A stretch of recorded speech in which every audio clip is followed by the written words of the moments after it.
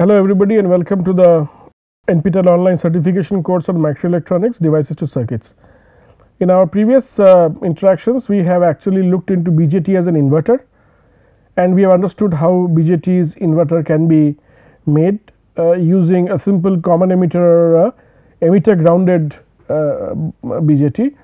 Uh, we also seen that uh, the noise margins are not equal. So, basically NML and NMH are not equal right and therefore, uh, though it though therefore a BJT will be a good um, uh, uh, good uh, acceptor of 1 it might not be very good acceptor of 0 or receptor of 0 right.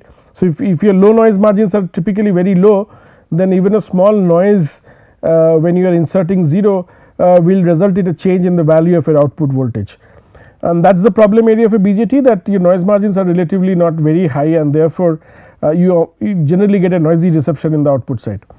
Uh, so first thing the second thing is that typically as I discussed with you uh, since you have to uh, if you want to use it as a switch you have to move from saturation to cutoff and vice versa and therefore removal of charge carriers from saturation uh, will take some finite amount of time right and therefore the the um, the time taken to switch from cutoff to saturation and back to cutoff uh, there is a finite time and therefore, uh, you will always have a limitation at which the BJT can work in terms of frequency limitations.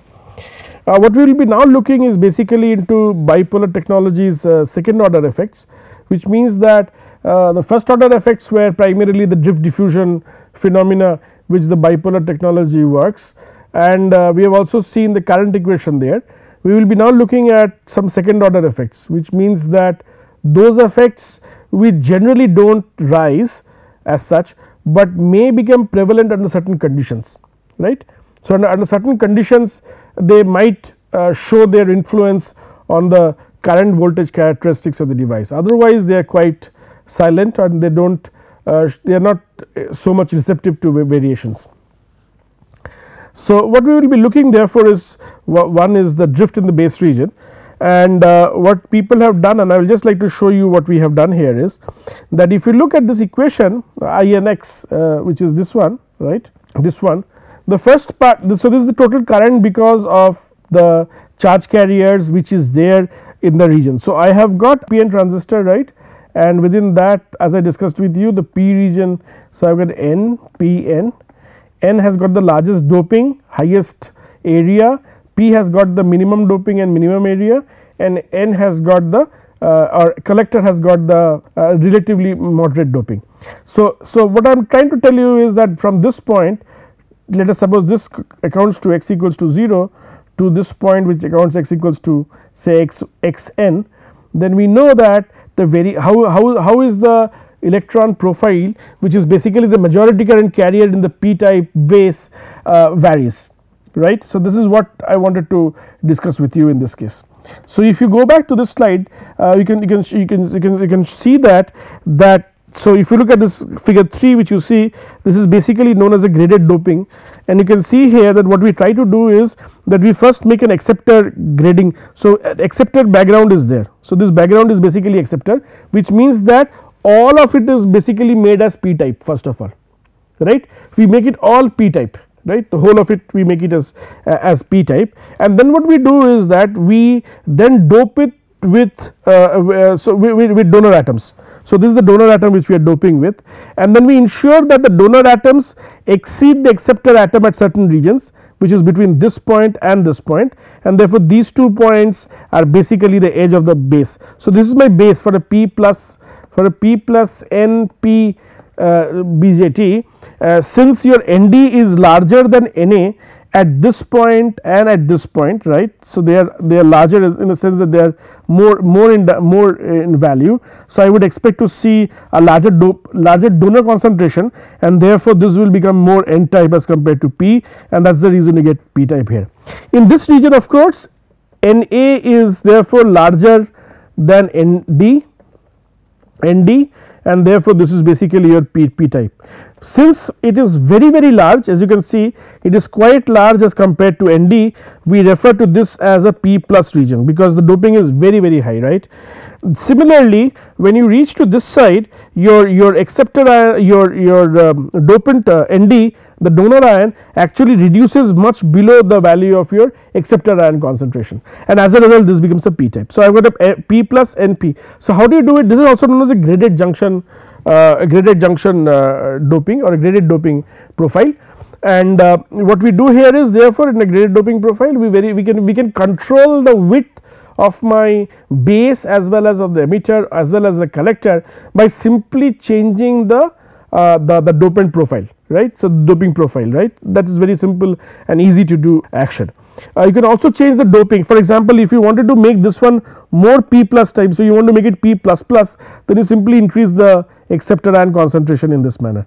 You wanted to shift this line from this side to this side then you need to cut somewhere here. So, when you cut the Na here uh, the starting value comes out here. So, I can do all sorts of manipulation and I am able to achieve a very straightforward um, methodology of having p plus n. Now, let us suppose your electrons are the majority current uh, holes are the majority current carriers therefore, electrons which are there are basically your minority current carriers. What we are assuming is that uh, that let, let us suppose the effective effective charge carrier at a particular place is nothing but ND minus NA right. So, you, you had ND let us suppose 10 to the power 15 and NA ND was 10 to the power 19 and NA was 10 to the power 15 or 16 then you subtract both of them and that is the effective NA or the effective number of dopant species. So, if we have 100 percent ionization I would expect to see that that many number of free charge carriers if ND is greater than NA free charge carriers electrons if NA is greater than ND free charge carriers as whole will be of, of course available to you. Now to understand this let us suppose uh, I have electrons as the majority current carriers then I define the current IN at any point xn within the circuitry within the BJT. So, this is the value. So, this is the x variation this is the x variation is equals to q times a q a mu n into n x n into e x n. I will explain to you what these terms are n is the charge density or the dopant charge density which you see E is the electric field from uh, from base to the from the emitter to the base region E electric field at that particular point Q is the electronic charge A is the area of the cross section of the emitter or the base and mu n is basically the mobility of the charge carriers right. So, this is basically uh, by virtue of your uh, sort of a drift uh, drift current which you see right. Similarly, you will you will you will also add a current which is by virtue of diffusion because uh, because please understand that the doping within the base region is not fixed right it varies because as you can see here ND is varying like this. So, I would expect to see that at 0 width at 0 at or, or, or at when, when the base starts the doping concentration is maximum and then it starts to fall down in this fashion right and that is what is shown here that I have got maximum width here maximum number of doping concentration and then it starts to fall down as we move from the edge of the base to the edge of the emitter to the edge of the collector.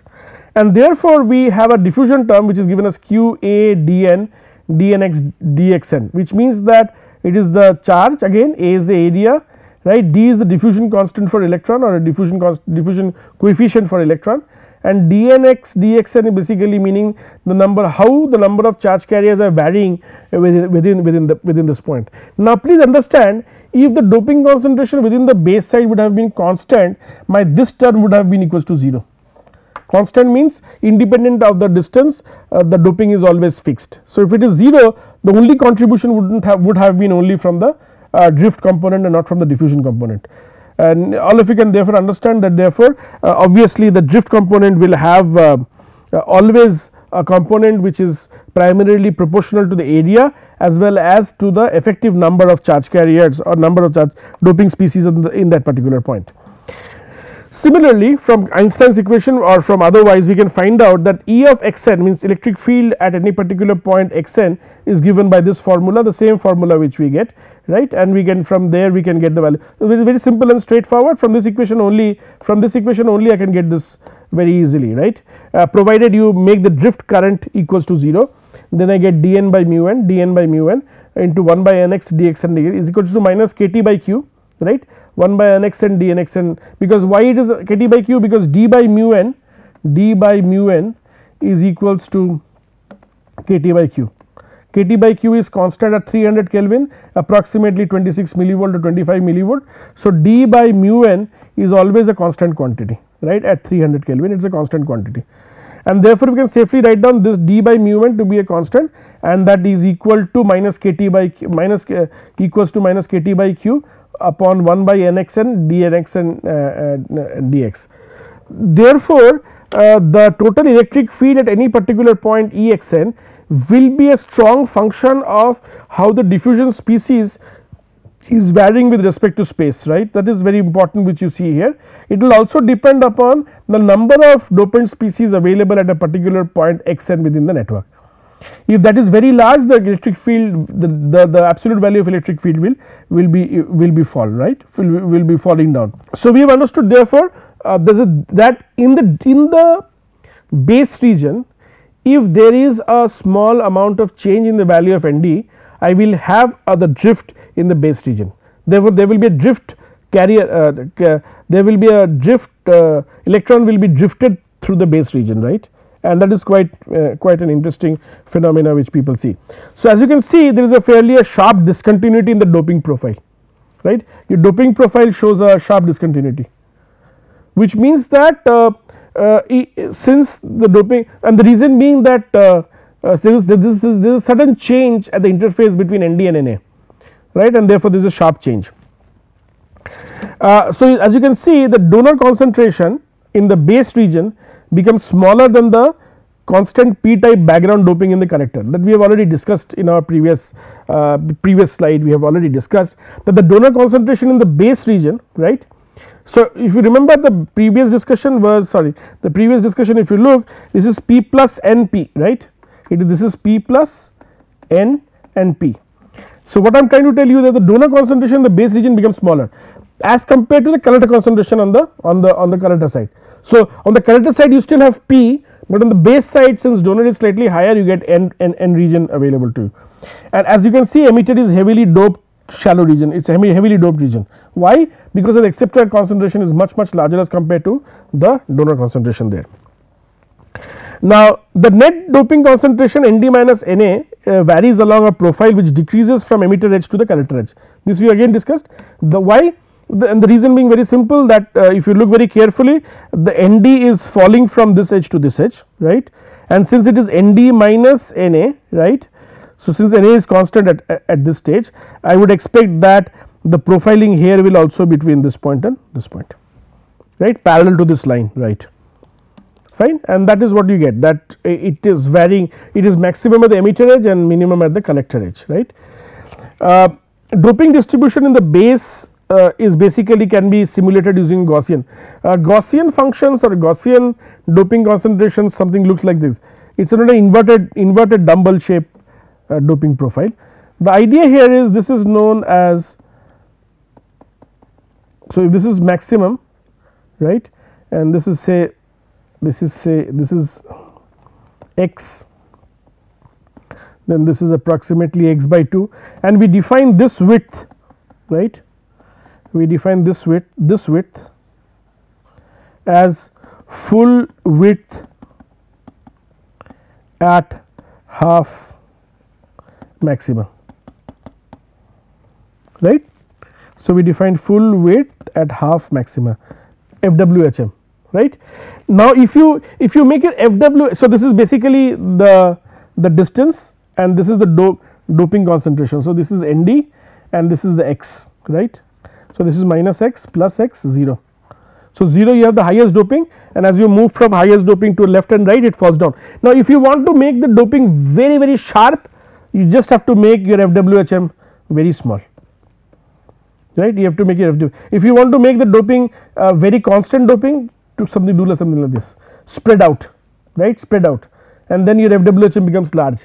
So, what is the advantage of a Gaussian profile? The advantage of a Gaussian profile is that it helps you to give a profile uh, or it, it, it helps you to control the profile from maybe a constant profile constant doping profile to a sharp peak profile by simply changing the value of your FWHM or full width at half maximum. Also referred to as sigma in most of the cases right sigma in most of the cases and that is what you refer to as a standard deviation, but technically it is full full width at half maxima and therefore, you can see that automatically what you get from here is that simply by changing the value of FWHM either you can reach a peak value of doping concentration or you can actually reduce the doping concentration drastically right and so on and so forth. So, this is what uh, the, what we get the area under this curve is basically the total number of dopant species total number of dopant species dopant or acceptor whatever you want to do right.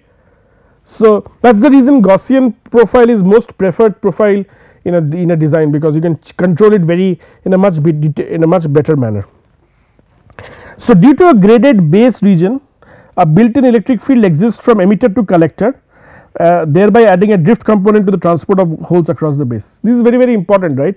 So, you see what, what, what I was talking about in the previous case in the previous case that what is happening is uh, if you just look at it that because of the graded base region there is an electric field from emitter to collector right for a PNP right and therefore, uh, so if there is a if, if, if there is a electric field for example from this direction to this direction.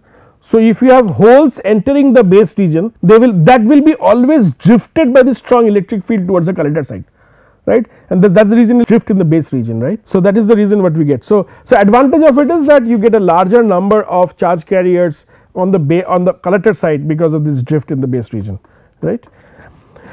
We come to the next uh, uh, next uh, uh, second order effect and that is basically known as early effect or what is also known as base width modulation effect. Uh, we have already studied this, but I will just go it a bit fast in this case so that you understand the issues in a much more detailed manner. Uh, base width narrowing effect or early effect is to do with what that if you remember uh, your base is lightly doped as I as I have written here this is lightly doped and your uh, what happens is that that if your base is lightly doped so, I have got emitter base and emitter uh, sorry this is emitter base and collector. So, emitter base junction will have a depletion region like this and collector base will have something like this. But uh, as I have told you previously also that the depletion thickness will be larger towards that region whose uh, doping concentration is low right. So, what I am trying to tell you therefore is that if I have a PN junction or, or maybe an NPN transistor which is a BJT and let us suppose this is emitter base collector and since since base is relatively low lowly doped I would expect to see the doping concentration something like this. So, you will have like this they are not equal similarly this will have like this and you will have like this, but since emitter base junction will be forward biased. So, this total distance will be smaller than this total distance clear. So, what is the effective base width now is this much this is the effective base width where doping is there otherwise these are all uh, fixed charge carriers these are all fixed charge fixed charge this is the only place where you have a mobile charge mobile charge and those are holes and those are holes and these are fixed charge here. So, so, so basically they do not contribute to the overall current. Now, as I discussed with you when you are active forward mode your base collector is always reversed biased right.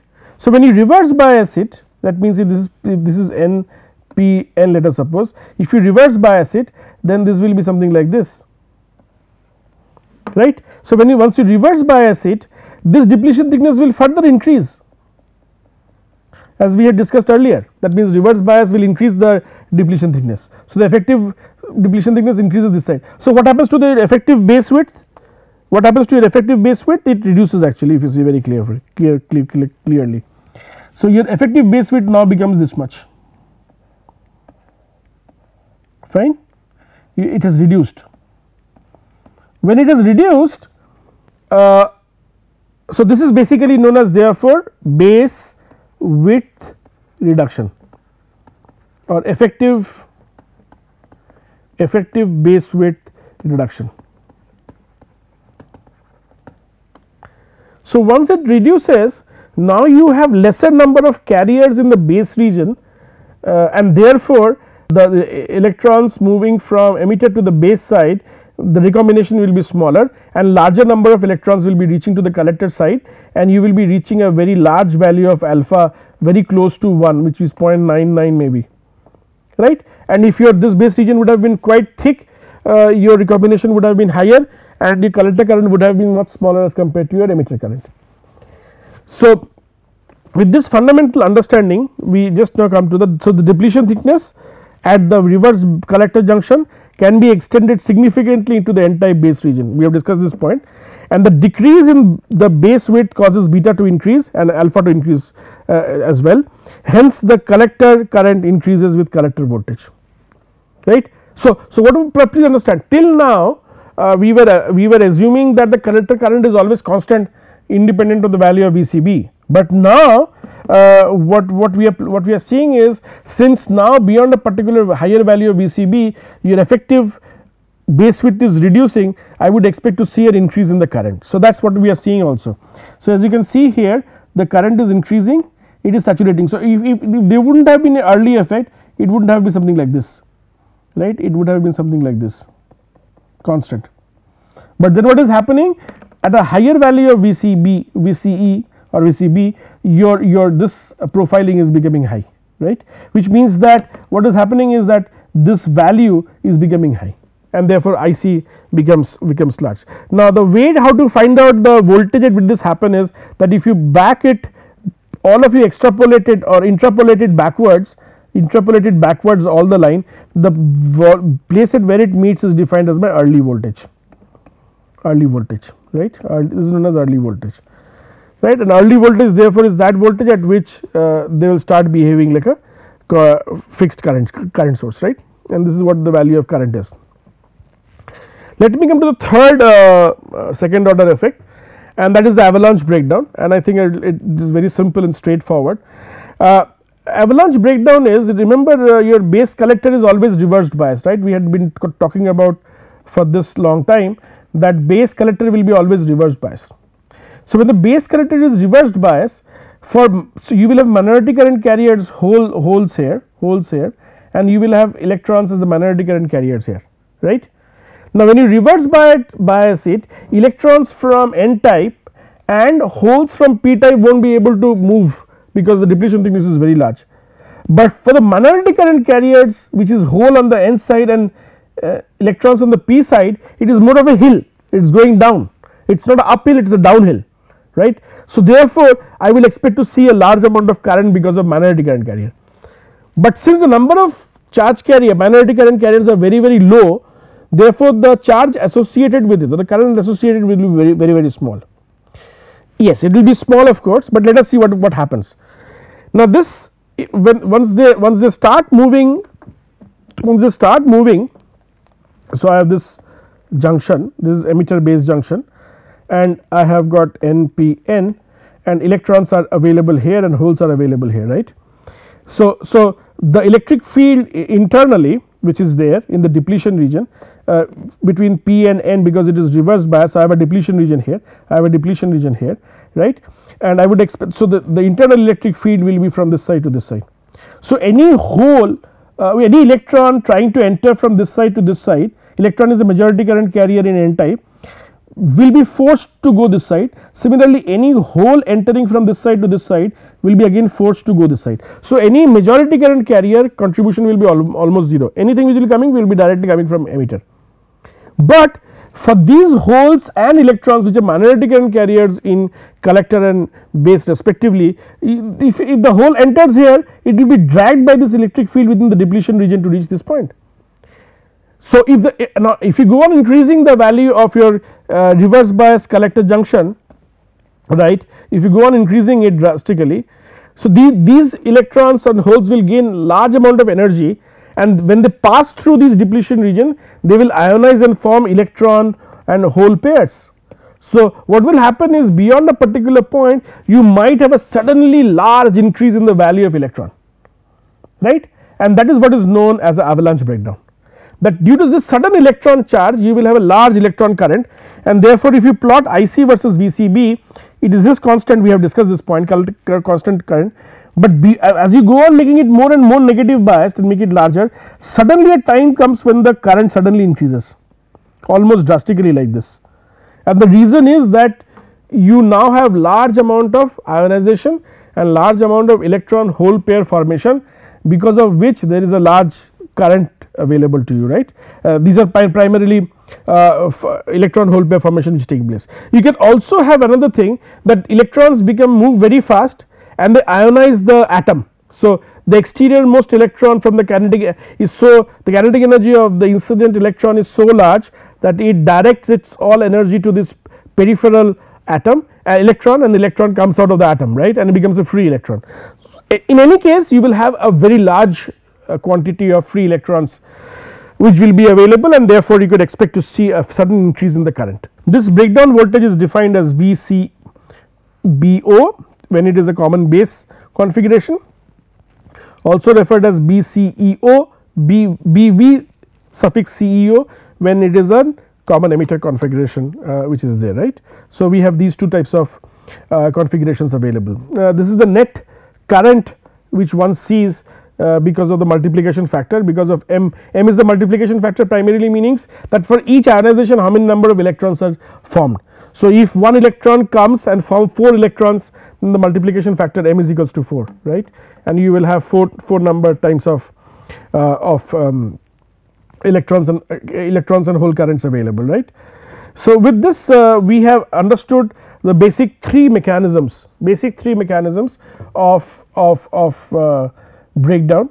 Uh, when we meet next time we will be actually looking into the next two mechanisms and second order effects. As you can see therefore, these are special cases as I discussed with you why special because only and only and only when when your collector base or base collector junction becomes larger than this breakdown voltage then only you will expect to see a very large increase in the current otherwise the current will be almost constant or remain as it is. So, therefore, these effects are known as second order effects. What we have learned avalanche breakdown we have learned one. We have also learned um, uh, your drift of charge carriers within the within the base region a second order effect and we have also learned about the early effect or effective base width modulation. When we meet next time we will be actually looking into the other facts as far as uh, this uh, dimension goes and we will see Uh, what are the other facts we will look in thermal effects and we will be looking into the base resistor or emitter crowding effect. So, these two effects we will look and that will ensure that we will be finishing off BJT with the understanding of these few uh, fundamental things. Thank you very much.